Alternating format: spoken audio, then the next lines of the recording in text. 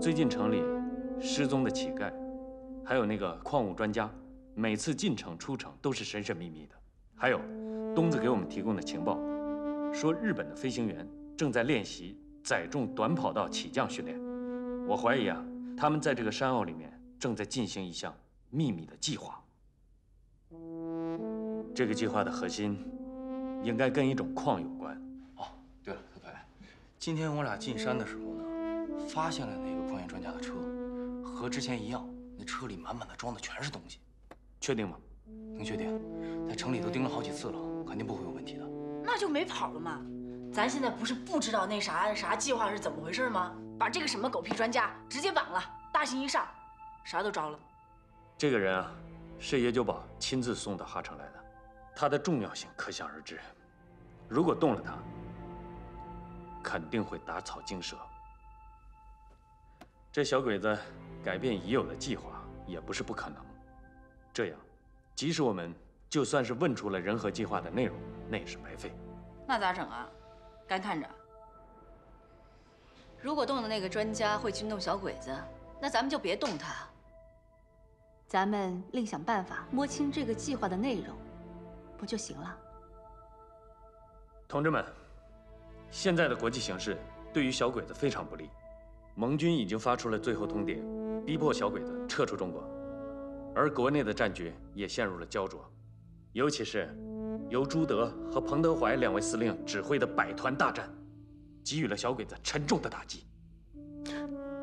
用事实证明，这小鬼子不是不可战胜的，也极大的鼓舞了我军民的抗战士气。这小鬼子在中国的日子是越来越不好过了。这个计划，我估计啊，跟我们之前的猜测是一样的，是跟战局有关的。那这不简单了吗？啊，你看啊，他就在那个山洼里，没跑吧？不管他是个啥，不管是兵工厂也好，是物资仓库也好，还是矿坑，小鬼子那么重视，肯定不是个啥简单玩意儿吧？直接端了他就完了嘛？不行不行，那儿的情况你们根本都不知道，防卫的极其森严，想进去根本都不可能。再说一两百号鬼子哪那么容易端呀？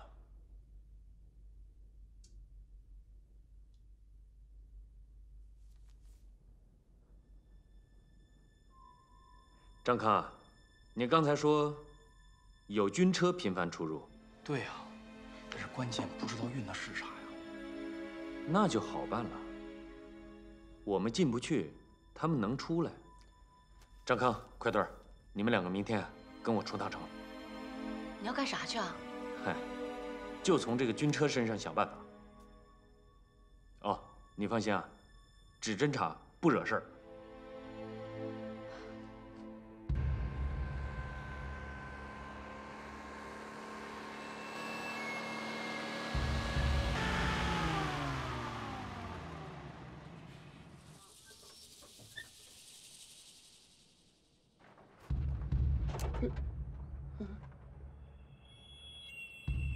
现在已经确定，那山里面的建筑是小鬼子的一个秘密兵工厂。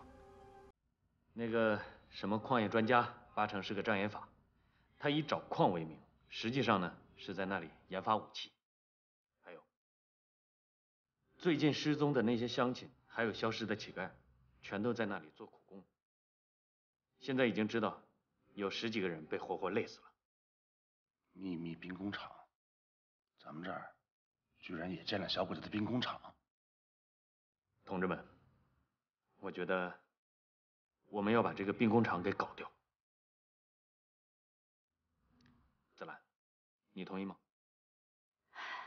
谢大姐的男人被抓了，还有前街孙大婶的儿子，马大叔的女婿，他们以前都帮过我。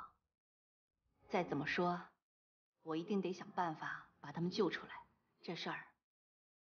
我支持，那咱们就想办法炸掉他。好，那那咱啥时候干呀？要不就明天吧。啊，不是，山哥，你这次行动必须得带上我，要不这后勤队长我就不干了。哎呀，没那么简单。按照那个司机的说法，这个兵工厂很大，我们想要一举炸掉它，需要有足够的炸药。可大家想想，这炸药去哪儿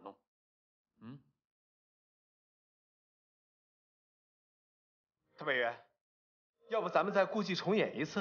哎呀，子弹我可以说是训练治安大队，可这炸药我根本没有理由去申请啊。要不咱就抢吧？啊？赵青云，抢？你抢谁的呀？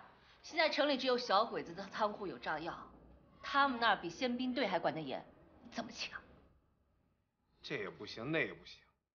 难道看着小鬼子眼睁睁把这兵工厂建起来，然后再霍霍老百姓啊？快推儿！子兰，这黑市可以弄到吗？要想买，我可以去问问，但是这种稀罕货，价钱肯定不低。哎哎，兵工厂咱抢不了，咱抢黑市总可以吧？反正那一帮子人也不是啥好东西？他们看不到钱，从不会把东西拿出来。就算你们把他们的人抓住了，也不知道货在哪，这是规矩。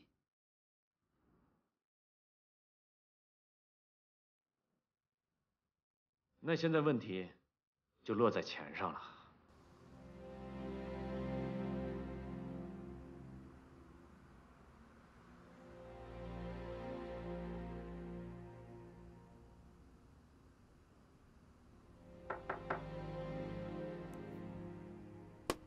子兰，我回来了。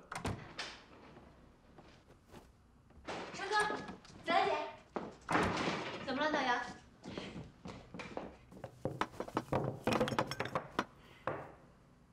高伯，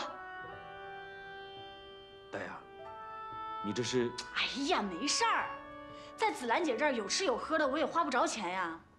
现在最重要的就是打鬼子，把小鬼子赶出去了，哪儿不能挣钱呀？是不？山哥，你们拿我当自己人，我也不含糊。以后有啥行动，带我一个，要不我可不依啊。行，算你一个。行啊，大牙，够仗义啊！那是我老五家的人，就俩字儿，讲义气。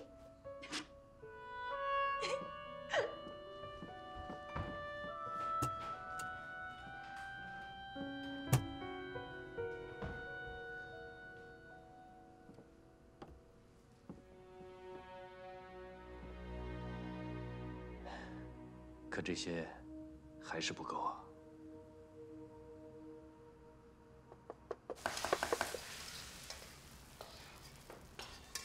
队长，用你偷啊，反正那个陈家宝啊，黑心良商，咱就偷他。再琢磨琢磨吧。这不到万不得已啊，在咱们没有炸掉小鬼子兵工厂之前，哎，不能让小鬼子有所警觉啊，要不然就麻烦了。哎，都先干活吧。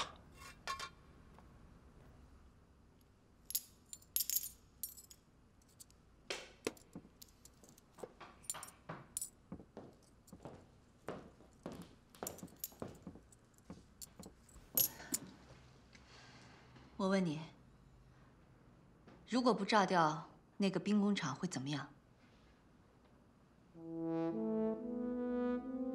小鬼子会生产出非常多的秘密武器，到时候将会有更多的老百姓惨死，更多的战友牺牲。这个点不除，影响的将是众多同胞的性命。所以我必须，陪我出去一趟。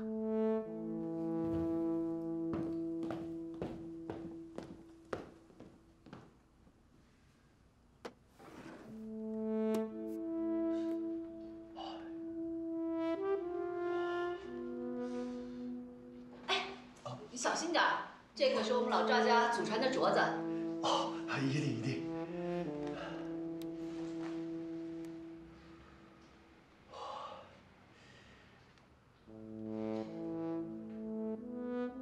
哎呦，这可是上等的翡翠镯子呀！赵掌柜，您真的要当？当。哦，那您是死当呢，还是活当？死当。呃，活当。活当钱是不够的，听我的。死当翡翠镯子一对死当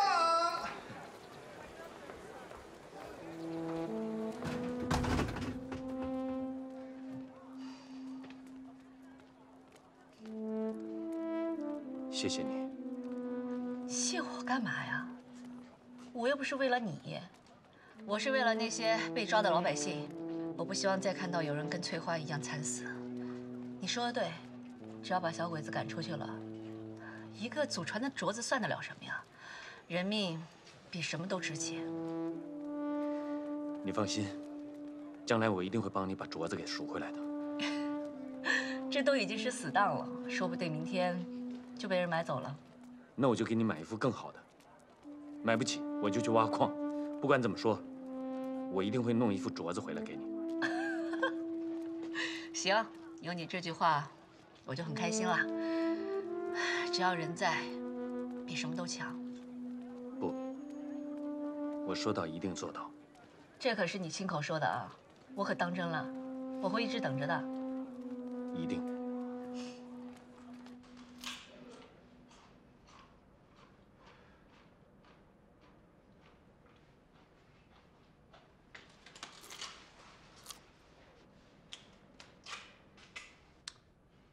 我说二傻子，吃东西不能小点声吗！滚一边吃去，烦死我了！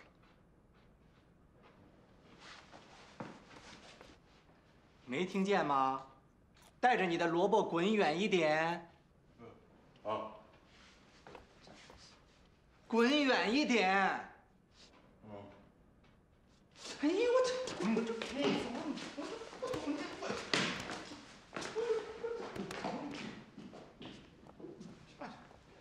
老爷，萝卜和他都滚远了。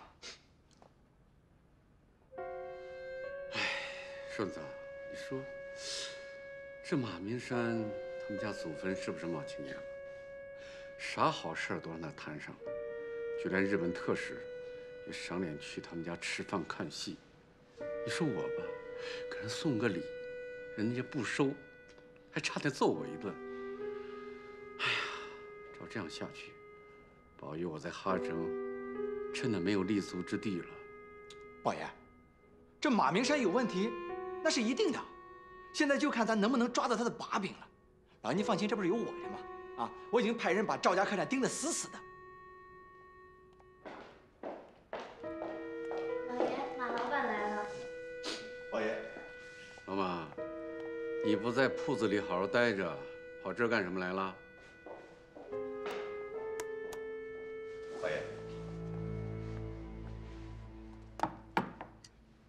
您瞧这个。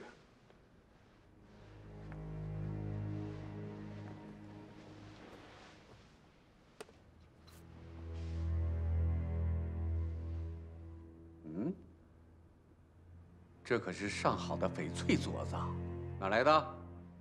老爷，从我老马这里拿出去东西，那当然是收上来的。但是，当着东西的人，您绝对猜不到，是谁呀？赵子兰和马明山。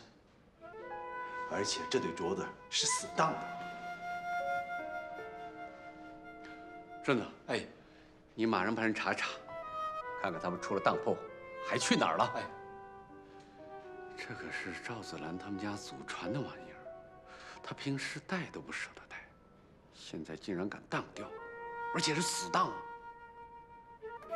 顺子，你说姓赵的这娘们儿拿这么一大笔钱干什么去了？哎，这我哪能猜得出来？猜不出来？这不好猜，这猜不出来还不去查去？去去去去去去！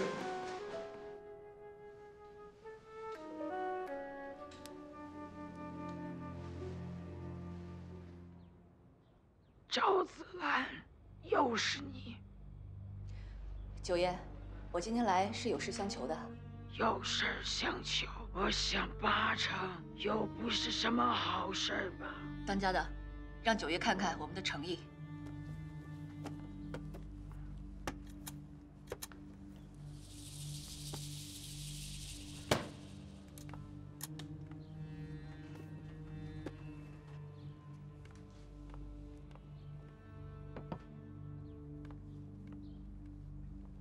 说吧，想要什么？炸药。上回要子弹，这回要炸药。你要的东西是越来越危险了，听九爷一句劝，不该碰的东西千万别碰。马主任还不劝劝你媳妇儿？九爷，我媳妇儿这回办的可是正事儿。九爷，你还不了解我吗？我不是那种没脑子的人。这次要炸药，是因为我打听到了一个黄矿。黄矿，那玩意儿真是值钱的货。金子多吗？不多的话，我要炸药干什么？妹子，黄矿小鬼子管得可严着呢，这可太冒险了。这年头，撑死胆大的，饿死胆小的。这本来就是我们的地盘，我就挖了。只要小鬼子们不知道，不就行了？再说有我当家的掩护，肯定不会有问题的。也对，马主任现在可是村上跟前的红人呢。到底敢不敢卖？三百块一块，军火，要多少？十块。这生意我接了。那就辛苦九爷了。老爷，打听到了，他们去哪儿了？马九的黑市。他们去马九的黑市买什么？这倒不知道。不过老爷，你想啊，那马九最擅长搞啥呀？不就是枪啊炮的吗？好啊，这次我们终于抓到赵子兰、马明山的把柄了。哎哎，老爷，那那现在咋整？我要不要去告诉那个村上大佐？不行，这次我要给他们来一个一击致命，人赃俱获。我就不信马明山这次还能翻得过身来。哎呀，老老爷，你你你这这高啊！你这，我觉得这回啊，不光是那个马明山得栽，赵家客栈那帮子人一个都甭想跑。只可惜赵子兰这娘们儿了，那小模样，老爷我惦记很久了。老爷，哎，这主意好啊！这次赵子兰一定乖乖的给我送上门来。嗯，怎么着？听说炸药搞到手了？搞到了。哼，我就知道，还是你有办法。这回啊，我真没帮上什么忙。都是赵老板的功劳。他把他祖传的翡翠镯子都给当了，还有大丫，他也把他全部的积蓄拿了出来。啊？赵老板，这这怎么话说的？这现在啊，最主要的事情是要想办法把这个炸药运出城。那现在东西藏在哪儿？东西没到，天黑我们就去取，不会出任何问题，放心吧。想要一次性把这么多炸药运出城去，确实难度不小，难保不让鬼子发现。老板，您在吗？陈老板说找您有事儿。陈老黑找我。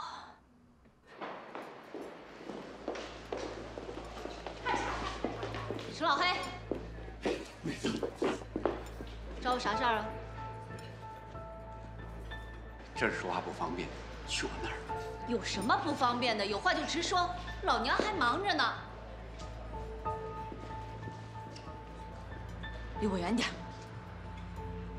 马九的事儿，哼。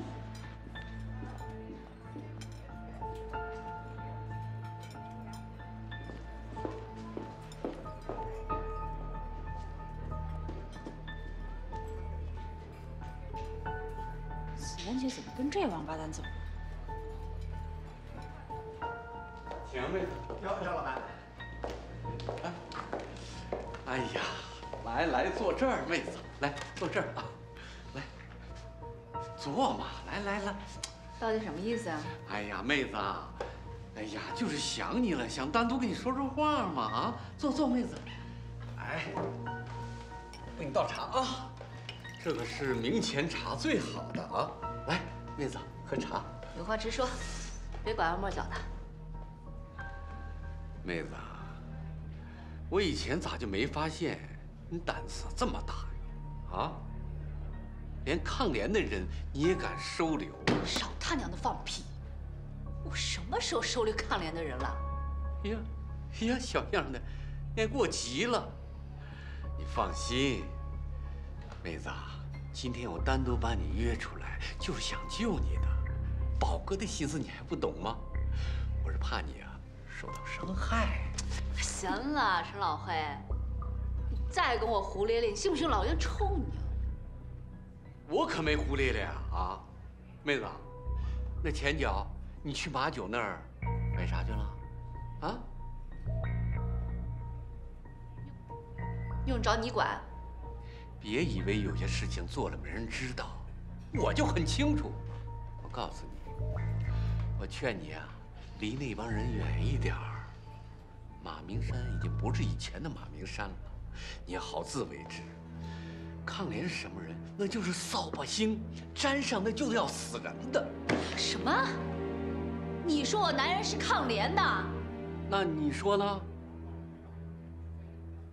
行啊，你去，去村上那告我啊，告啊！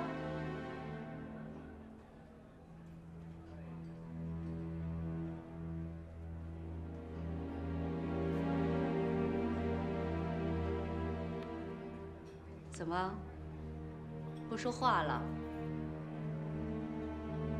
有本事拿证据给老娘看看！你除了马九，你知道什么呀？陈老黑，我告诉你，你少他妈的胡说八道！你，妹子，你看你别激动啊，我这不是猜的吗？我是没有证据，但是我是真心为你好，我是怕你受到伤害的，真的，妹子。程老黑，我告诉你啊！你要是再敢乱说，我可绝对饶不过你。不信你试试看。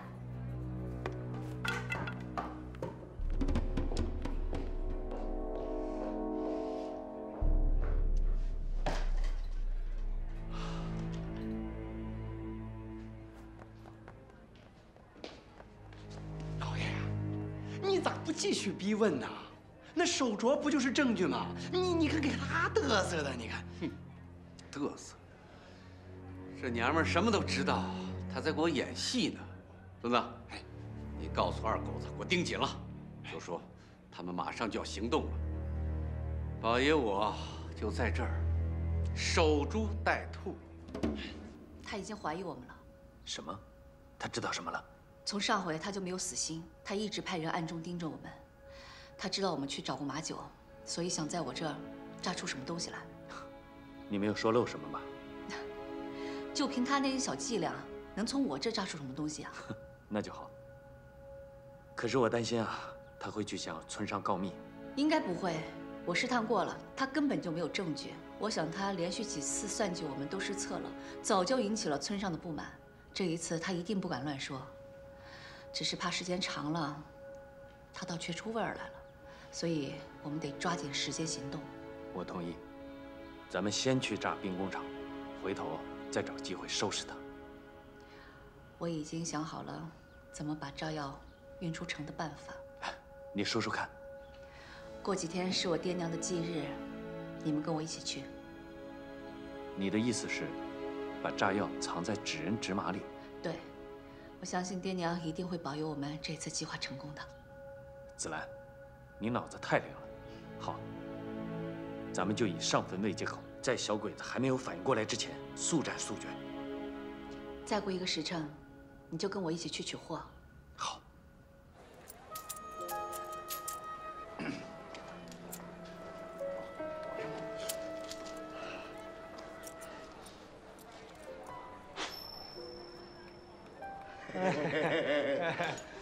呃，有日子没打点你了啊。宝爷说了。让你盯好赵子兰和马明山，有任何异常举动，必须报告。哎，好嘞，好嘞。这钱只是个开头，满意不？满意，能不满意？那就把事办好了。哎，啊，我告诉你啊，你家赵老板和马先生最近要干件大事。啥大事啊？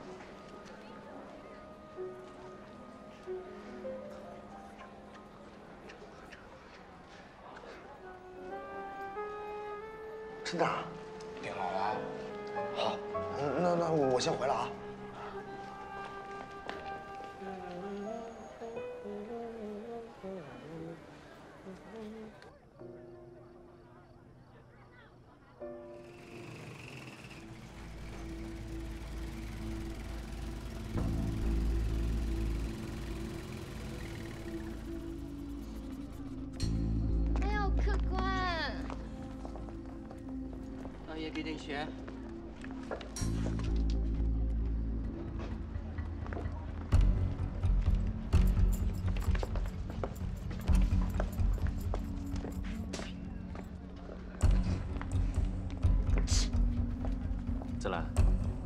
环境这么乱，安全吗？放心吧，九爷的东西没人敢动。放松点儿。站起！马老板，太紧张了吧？兄弟，对不住。没事。东西呢？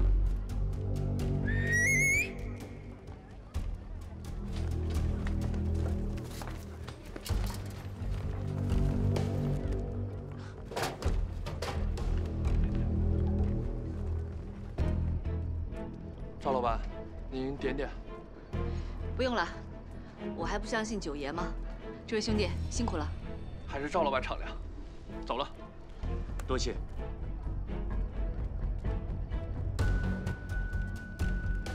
走吧。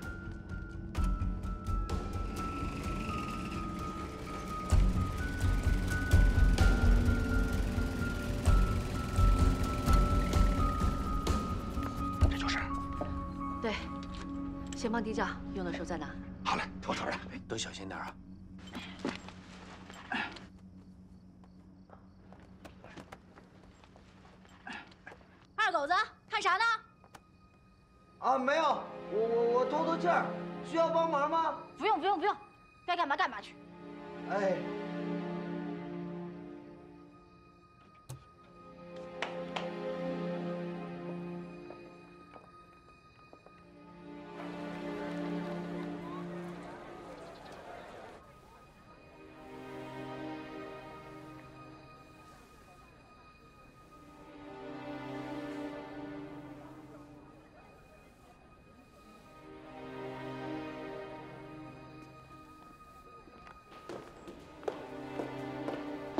老板，这么早您又要出去啊？是啊，准备给爹娘上坟去。怎么有事儿？没有，我就是说看看有什么我能帮得上忙的没有。不用，扎个纸钱纸人的，帮个啥忙啊？赶紧干活吧。哎哎，姐，我陪你去。你干啥去啊？哎呀，给你当苦力。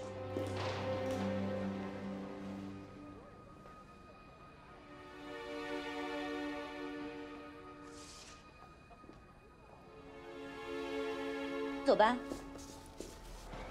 哎，老爷，老杨，来来来来来来来！不是老老老爷，你你我喊半天了，我喊我喊你杀你啊！老杨来来，你老杨干啥呀你？我不是老爷，老爷你说滚一边去！不是老爷你我喊半天，你着急忙慌的，你说你这气死我了！刚才马酒的人告诉我，说赵子兰买的竟然是炸药，说是炸黄口，骗鬼呢。老爷，二狗子那也来消息了，说赵子兰这娘们是出去订纸人之马了。纸人之马？这要祖传矬子，纸人之马，他们这是要去城外查什么呀？您看，先生，您知道这是谁的镯子吗？赵子兰的。昨天他卖了这祖传的镯子，据说这镯子是皇宫出来的，那可是价值连城啊。他用得来的钱到黑市买了大批的炸药。今天，他又订购了许多纸人纸马。先生，什么意思？我怀疑，他们肯定要去城外炸点什么。这件事的发起者，就是赵子兰、马明山。大佐阁下，我认为，他们就是您一直要找的。抗联分子，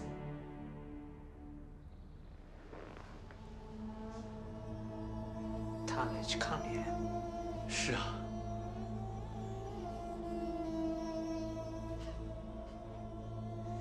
先生，你反复多次针对他们，看来这次是证据确凿了。大佐阁下，我说的可都是实话，您可不能不当真呐。他们肯定是把炸药藏在纸人纸马当中，您不能由得他们搞破坏啊。大佐阁下，我说句心里话吧，我真替您不值。你对他们两口子这么好，先是把治安主任的位置给了马明山，后来又经常去赵家客栈举办宴会，就连日本特使来了，你也把他们介绍给他。您这么相信他，可他们倒好，却背着您跟皇军作对，这样的人难道不该杀吗？啊，大佐阁下，现在你应该知道了吧？谁才是最忠诚于您的？那就是我。陈家宝，我对你可是至始至终忠贞不二。为了你，我可以赴汤蹈火，头可断，血可流啊！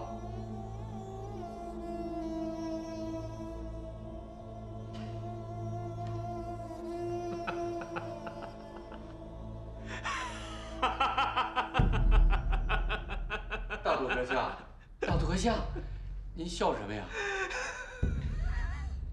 先生。你认为我傻吗？傻？啊不不不不，大佐阁下，您怎么能傻呢？您可是绝顶聪明啊！谁要认为你傻的话，那个人才是大傻子。是的。实话告诉你吧，刚才你说的话，我早就都知道了。啊，从马明山在床内发现抗联，到。两层井，再到箱子发现孙永福是土匪，再到航空大队起义的事，我就一直怀疑他。那你为啥一直留着他？难不成就像传说的那样，你惧怕君王的军刀，而不敢动他？那只是我放出去的烟雾弹而已，目的就是为了让他们放松。我真正的目标。就是让他们露出狐狸尾巴，将他们一网打尽。山田。玲子の部屋と食料倉庫の位置関係、お前どう思う？玲子の部屋のあの2階の踊り場からなら食料倉庫の庭へ直接入ることもできるつまり高蓮が玲子様の部屋を通り抜けたということですか？ですが玲子様の部屋に入れる人物は限られております。つまりあの部屋に入れる人物が怪しいということだ。まさか。マミシャンですか？かの治安官か。なぜの話にして。それは十分な証拠を集め一網大事にするつもりだからであります。君をそれほど苦しめられてはぜひ私もお目にかかりたいものだ。ですのでジャオジャーカージャンの正体を受けていただきたいのです自分のすぐ近くでずっと隠れていたあの男に閣下を紹介いたしましょう大佐阁下，那你为何几次都把他们给放了？我之所以表现的相信他，第一，我没有直接的证据会让他脱逃；第二，这几个人。 不是重点，我一直期待他们能暴露更多的情况。那什么时候是收网的机会啊？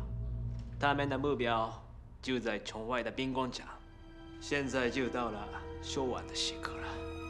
大佐阁下，我劝您啊，早点把他们抓起来吧，要不然他们真的把兵工厂给炸了，那一切都晚了。他们现在把炸药藏在纸人纸马当中，假借上坟的时候。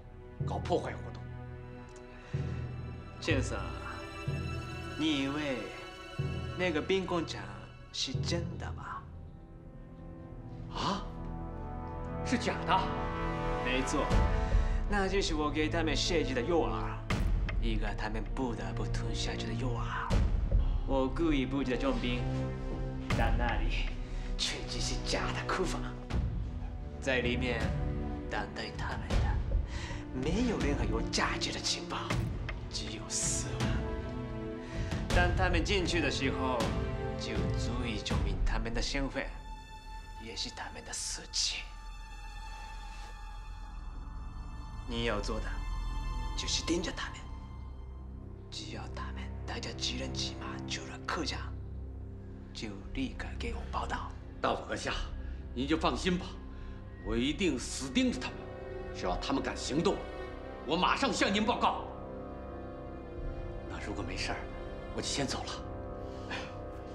先生，大佐阁下，您刚才的话，我知，你们知。如果再有一个人知道的话，大佐阁下，如果我敢透露半个字，我一家老小的命，全都抵给你。谢大佐。呃，大佐阁下再见。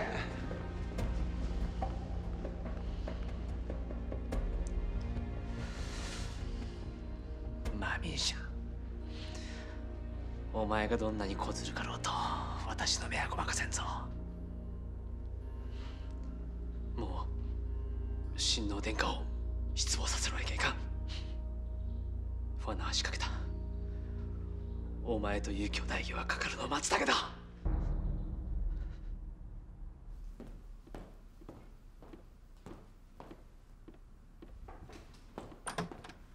哎，泽兰，你这是要出门？我正准备出去走走。马车装好了吗？都装好了。哎呀，怎么了？哎，没事儿，我这眼皮子总跳， 总觉得会有什么事发生。你啊，是太紧张了。放心吧，不会有事的。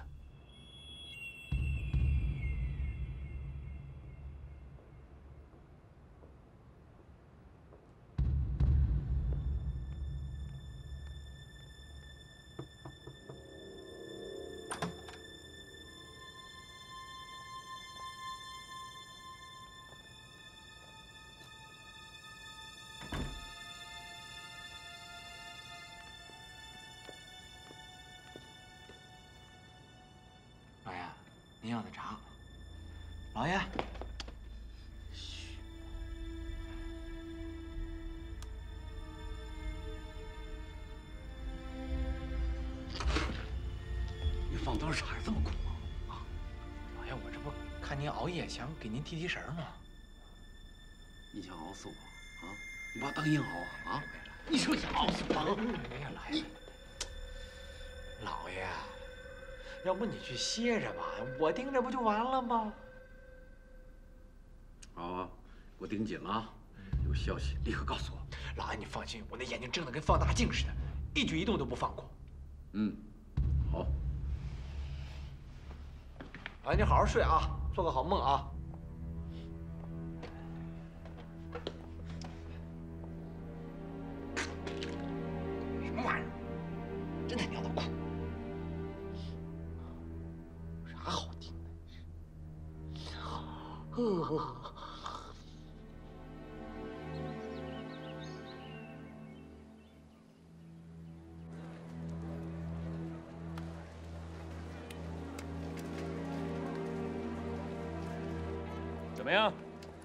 准备好了。那行，准备出发。好，子兰，走吧，出发。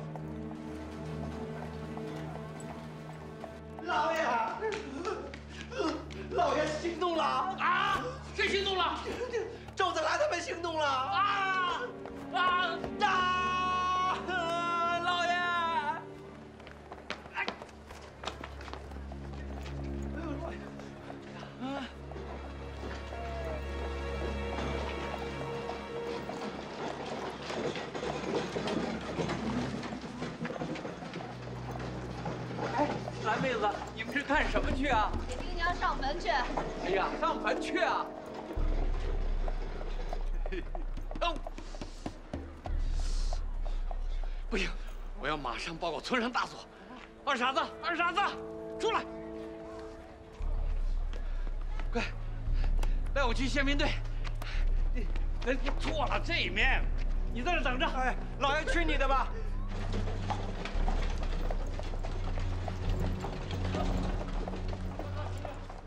他抓什么东西啊？呃，祭祖用的纸人纸马。对，长官，我们是去给爹娘上坟的。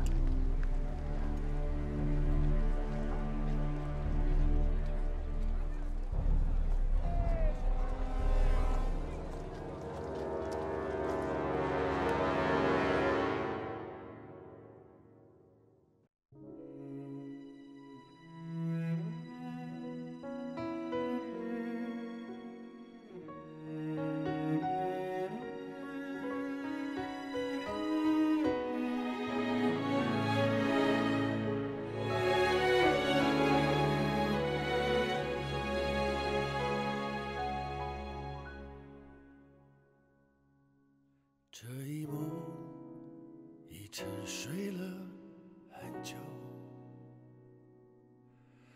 你是否和我一样期待黎明的到来？这一份今世坚守的誓言，你是否读懂我心的期盼？